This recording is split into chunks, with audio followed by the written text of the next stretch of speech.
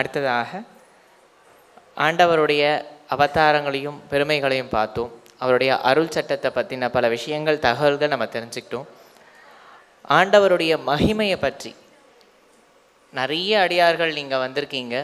ஒத்துத்தர் வார்க்கழியும் ஒரு ஒரு இடத்துல டேர்னிங் பாயிண்ட்னு ஒன்று இருக்கும். அது ஆண்டவர் மூலயமா ஏற்படுத்தின அந்த விஷயங்கள் நிறைய இருக்கும். அதில் ஒரு சில முக்கியமாக மற்றவங்க கிட்ட பகிர்ந்தக்கூடிய ஒரு ஒரு சில நிகழ்வுகளை நாம் இப்போ கேட்கவிருக்கும். ஆண்டவருடைய அடியார்கள் திருவாய் மலர்ந்து சொல்லக்கூடிய ஒரு சில அனுபவங்களை நாம் இப்போ கேட்கவிருக்கும். இப்போ நம்மளுடைய அடியார்களினுடைய தலைமை அடியார்கள் அப்படின்னு சொல்லலாமா? அந்த மாதிரி இருக்கக்கூடிய இந்திரா தாயியும் கீர்த்தி சுவாமியும் மேடைக்கு வருமாறு அழைக்கிறோம். ஓம் ஸ்ரீ சுவாமிகளுக்கு. அரோகராம். அரோகரா அப்படின்னு சொல்லும்போது நாம் ஏற்கனவே செய்த இந்த பாவங்கள் இனிமேலும் பாவம் செய்யாமல் இருக்கணுங்கிறதுக்காக ஹர ஹோம் ஹர அப்படின்னு சொல்கிறோம் ஓம் ஸ்ரீ பரிபூர்ண விநாயகருக்கு அடி வயிற்றிலேருந்து சொல்லணும் ஓம் ஸ்ரீ ரெட்டிப்பட்டி சுவாமிகளுக்கு ஓம் ஸ்ரீ ஸ்ரீ அருள் சக்தி அன்னையாருக்கு. ஓம் ஸ்ரீ அருள்வேந்தர் மாம்பலம் சுவாமிகளுக்கு. ஓம் ஸ்ரீ ஸ்ரீ அருளரசி மாம்பலம் தாய்க்கு. அன்பார்ந்த அடியார்களே அன்பர்களே. ஓம் குருநாதா என்ற மந்திரத்தை நான்கு முறை சொல்லிட்டு ஆரம்பிக்கலாம்னு நினைக்கிறேன். ஓம் குருநாதா ஓம் குருநாதா ஓம் குருநாதா ஓம் குருநாதா. ஆண்டவர் வந்து எட்டையாபுரம் கிட்டக்கு தான் இருக்கார். அதனாலேயோ என்னமோ தெரியல. பாரதியார் பற்றி அந்த நாளில் வந்து நிறைய விஷயங்கள் தெரியாமல் இருந்தது. ஆனால் இப்போ பார்த்தீங்கன்னு சொன்னால் இரண்டு பாரதி வந்து கலக்கிட்டு போயிட்டாங்க வந்து. நமக்கு ரொம்ப சந்தோஷமாக இருக்குது நம்ம குரு. நமக்கு மட்டும்தான் சொந்தம் ரெட்டிப்பட்டி சுவாமிகள் நம்ம குருன்னு நினச்சிட்டு இருந்தோம். ஆனால் எவ்வளோ அனலைஸ் பண்ணி ஐம்பது வருஷமாக நம்ம இந்த பாட்டு துடியாக பேசானடி பாட்டாகட்டும் இந்த எல்லாமே அவங்க பேசினதாகட்டும் ஒரு பக்கம் புலினும் ஒரு பக்கம் சிங்கம் மாதிரி அந்த மாதிரி வெங்கல குரலில் பிரமாதமாக பேசினதை பார்க்கும்போது ரொம்ப ரொம்ப ரொம்ப சந்தோஷமாக இருக்குது ஏன்னு சொன்னால் நம்ம குருவை பற்றி உலகத்துக்கு தெரியப்படுத்த நம்ம அருள் பிரகாசதாசன் சுவாமிகள் சொன்னார் நூறு வருஷம் ஆனப்புறம்தான் ஐயாயிரம் ஆண்டுகளுக்கு மேல் அதிசயங்கள் மெத்தன்னு சொல்லியிருக்கார். அதனால் ஆண்டுகள் ஆக ஆக ஆக ஆண்டவரை பற்றின விஷயங்கள் உலகத்தாருக்கு எல்லாருக்குமே தெரிய வருது. என்னுடைய தாய் தந்தையருக்கும் இப்படிப்பட்ட ஒரு குருவை காண்பித்ததற்காக அவர்களுக்கும் நன்றியை சொல்லிட்டு நாங்கள் வந்து இந்த உரையை ஆரம்பிக்கிறோம். அருட்சக்தி அன்னையாரை நேர பார்த்துருக்கோம். அந்த அருட்சக்தி அன்னையார் சொன்னதுனால தான் எங்களுக்கு ரெட்டிப்பட்டி சுவாமிகளே தெரியும். அவர் எப்படிப்பட்டவர் எப்படி கருணாமூர்த்தி கூடவே வாழ்ந்து எவ்வளவோ செஞ்சுருக்காரு. ஆண்டவருக்கு வந்து அந்த காலத்தில் தேங்காயை வந்து வறுத்து அரைச்சி அந்த சாந்து தடவும் போது அது கீழே உதிர்ந்ததை எடுத்து தடவி எத்தனையோ பேருக்கு வியாதியெல்லாம் சரியாயிருக்கு. எத்தனையோ பேருக்கு பிரச்சனைகள்லாம் சரியாயிருக்கு. அப்படி தாய் சொல்லி தான் தெரியும்.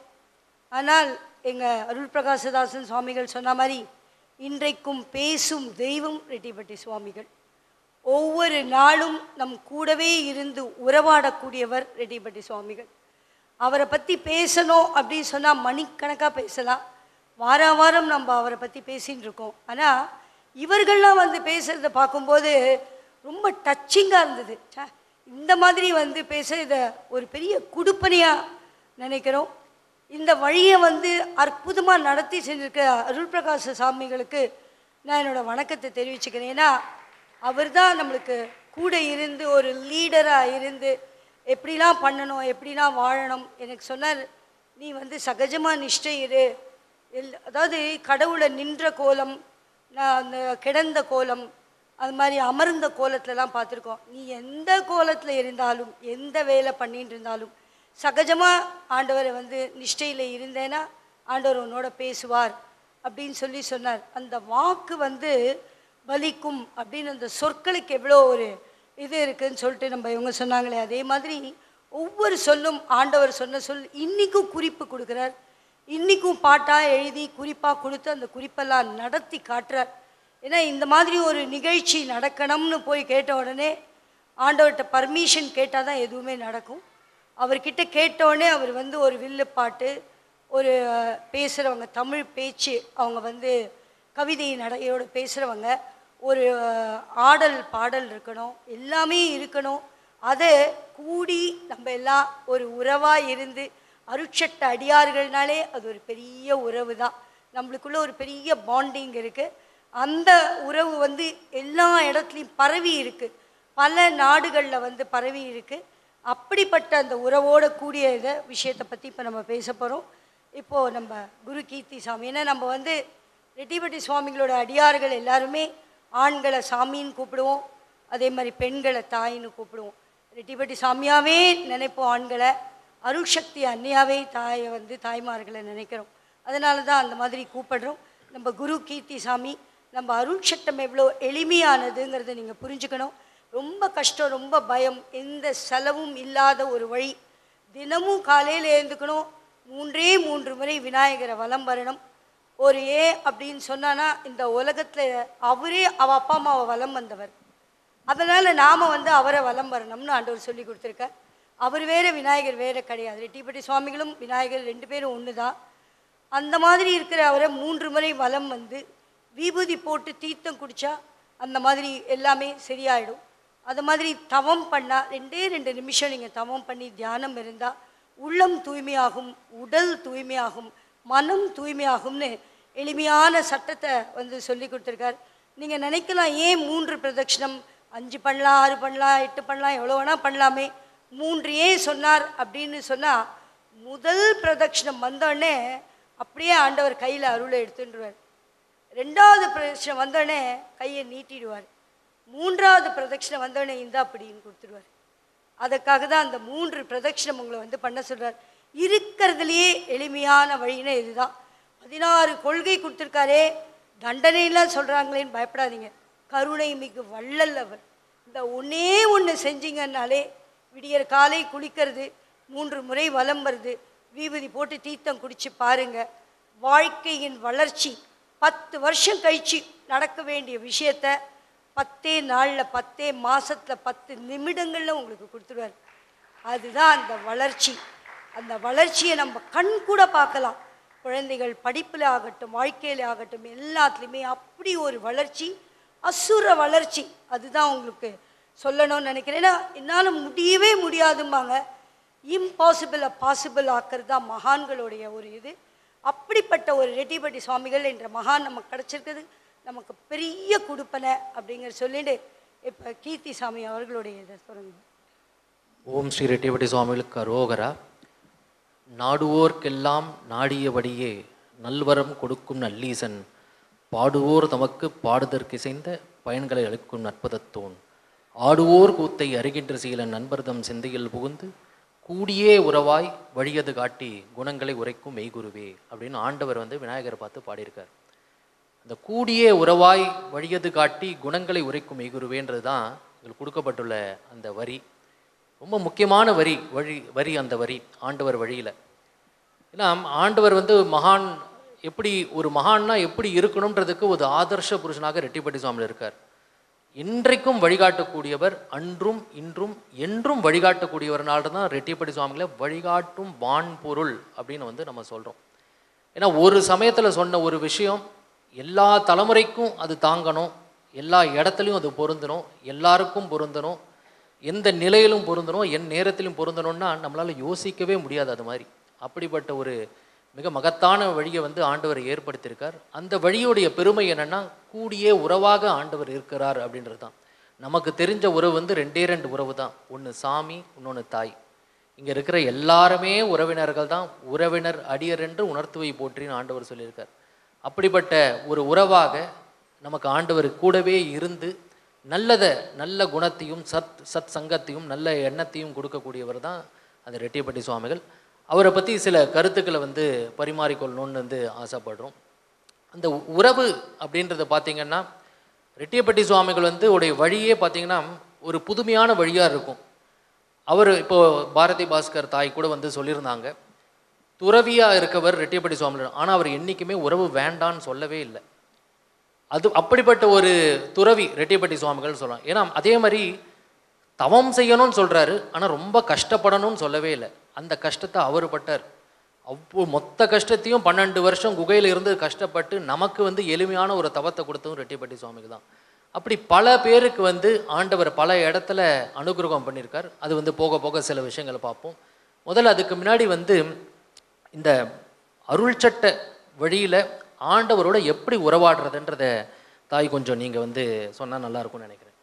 அதாவது என்னென்னா இறைவனுடைய ஒரு பார்ட்டு தான் நம்ம. ஒரு சின்ன பார்ட்டு தான் நம்ம எல்லாருமே. அப்போது அவருடைய குணாதிசயங்கள் அத்தனையும் நமக்குள்ளே இருக்கும். அந்த குணம் வந்து என்ன? அந்த கருணைங்கிற அந்த குணம் வந்து நமக்குள்ளே வந்துடும் அதனால் நம்ம என்ன செய்வோம்? உள்ளே வராருன்னா எப்படி உள்ளே வராருன்னு நீங்கள் கேட்பீங்க கடவுள் அப்படின்னா கடைஞ்சு உள்ளே போடணும். ஆண்டவன் நம்மை ஆளக்கூடியவன் உடையவன் அப்படிலாம் நம்ம நிறைய விஷயங்கள் சொல்லுவோம். இதை சிம்பிளாக ஆண்டவர் எப்படி சொல்லி கொடுக்குறார் அப்படின்னு சொன்னால் அந்த பார்ட் நம்மளாக இருக்கும்போது என்னென்னா நாம் நல்லதை சாப்பிட்ணும். ஏன்னா உள்ள அவர் இருக்காருன்னு அர்த்தம். நல்ல விஷயங்களை பேசணும். ஏன்னா உள்ள அவர் இருக்கார். நல்ல ஆடை உடுத்தணும். ஏன்னா உள்ள அவர் இருக்கார். அவருக்கு நம்ம செய்யறதா நமக்கு நாமே செஞ்சுக்கணும். ஏன்னா அவர் உள்ளே இருக்கார் உள்ளே இருக்கார். எப்படி அவர் உள்ளே போனார்? அப்படின்னு உங்களுக்குலாம் ஒரு டவுட் வரும். ஒரு தெய்வ கொள்கைன்னு அவர் சொல்லியிருக்கார்.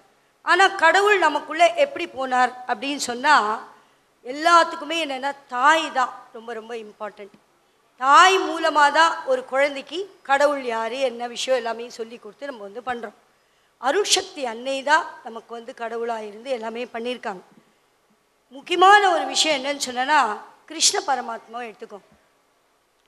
தாயார்கிட்ட எவ்வளோ ஒரு அமக்கலம் பண்ணார் எவ்வளோ இது பண்ணார்.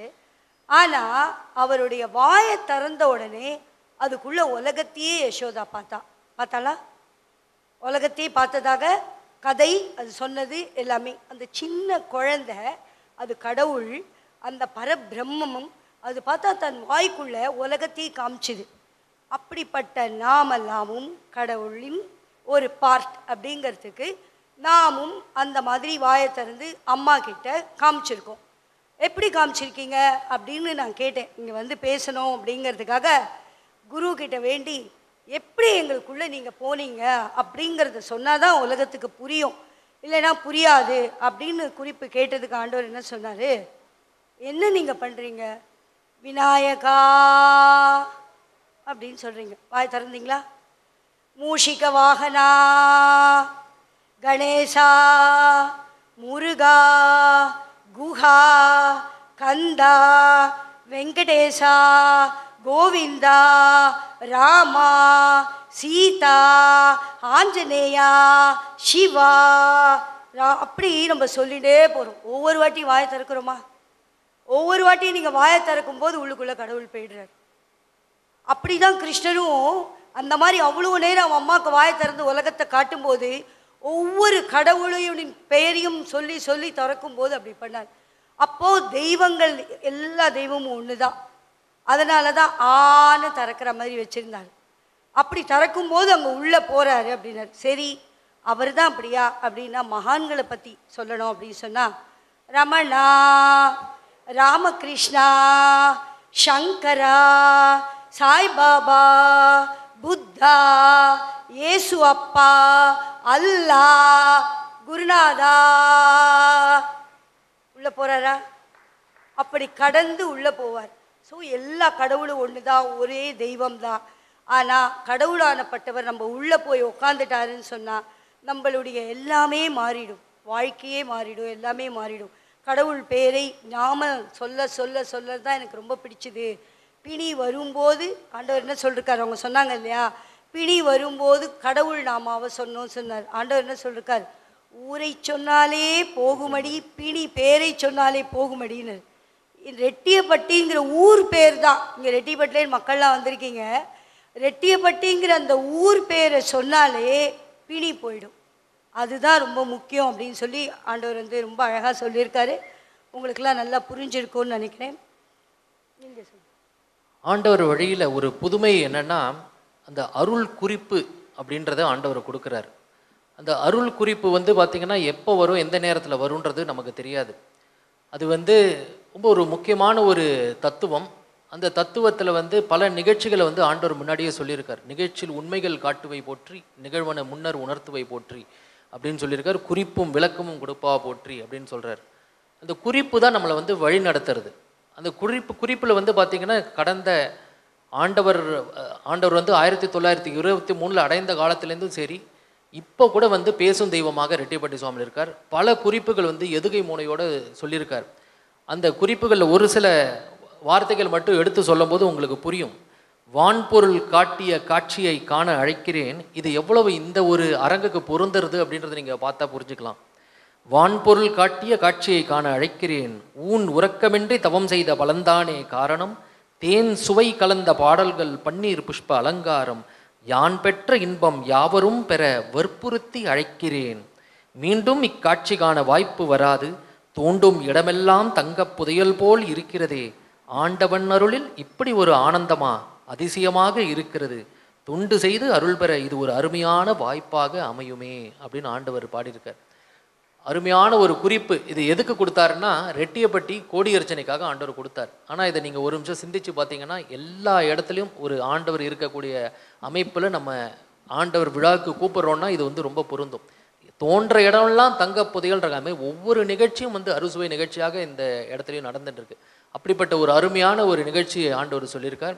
நாம் இப்போ கொஞ்சம் அனுபவத்தில் பற்றி கொஞ்சம் நேரம் பேசினேன்னா அந்த அந்த காலத்தில் ஏற்பட்ட சில அனுபவங்கள் அடியார்களோட அனுபவம் அது எப்படி இந்த காலத்துலேயும் பல அனுபவங்கள் ஏற்படுறது அப்படின்றத வந்து தாய் கொஞ்சம் அந்த காலத்துடைய அனுபவங்களை பற்றி சொன்னால் நல்லா இருக்கும் நம்ம எல்லாருக்குமே ஆண்டவரை பற்றி தெரிஞ்சிருந்தாலும் இன்னும் ஆண்டவரை பற்றி பேச பேச நமக்கு என்னன்னு சொன்னால் அந்த வைராக்கியம் நம்பிக்கை அந்த ரெண்டு ரக்கை இருந்தால் தான் பறந்து போக முடியும்னு மாம்பழம் சுவாமிகள் சொல்லுவார்.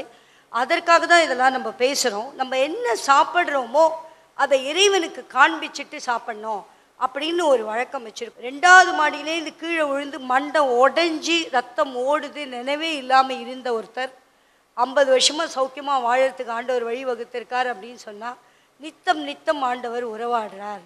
Música